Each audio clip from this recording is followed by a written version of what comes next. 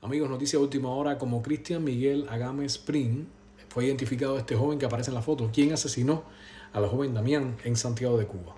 Cristian, nacido el 17 de julio del 2007, quien tiene 17 años, fue el autor intelectual del asesinato del joven Damián Reyes Cordero, este niño que aparece en la foto.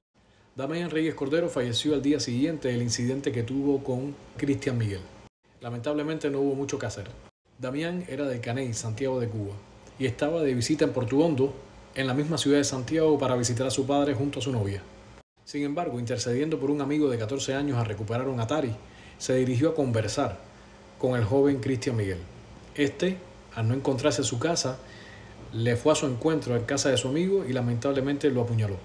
A pesar de haber sido llevado al hospital, no sobrevivió a esta herida. Mientras que Cristian Miguel fue apresado por la policía sin ninguna resistencia, evitándose de esa manera que la familia del joven Damián tomara represalias, estando dispuesto a ellas. Cristian Miguel ya era un chico que vivía en el ambiente. Su número de expediente en este caso es 32744. La familia de Damián espera que sea juzgado con la severidad que requiere este tipo de incidente. Piden justicia y la gente en el canal pide justicia. Damián era un chico muy querido y respetuoso. Yo soy Niño reportando un crimen y te invito para que me sigas en la plataforma de TikTok, de Instagram y también en YouTube.